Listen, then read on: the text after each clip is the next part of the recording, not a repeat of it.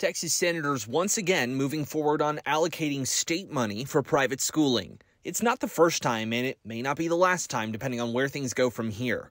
Republicans argue the difference this time around is while they're working to fund private schools, they are also working to pour billions of dollars into public schools. We will continue to support public education with in, increased funding as we have every biennium but the subprime crash. That but is this go around really all that different? It's not as if one time pay increases for teachers and you know small increases in this per student allotment have not have been on the table before.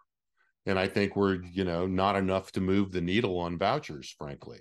That's what critics of the initiative republican and democrat alike are holding out for. We do a little reality check. Where's this bill going once it leaves this floor it should go to the House. And in the House, it's still a toss up on whether school choice has support to pass. Some rural Republicans have been adamant they will not support taxpayer money for private education, standing, as it is, with Democrats. We are saying no to voucher scams and saying yes to protecting our Texas children. In a press conference Thursday morning, a coalition of Central Texas Democrats spoke alongside Central Texas school superintendents reiterating their opposition to school vouchers or anything like them.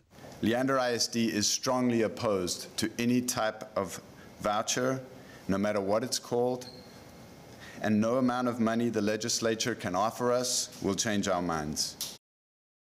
Thank you for watching. Please hit the subscribe button and get the latest news by downloading the CBS Austin News app.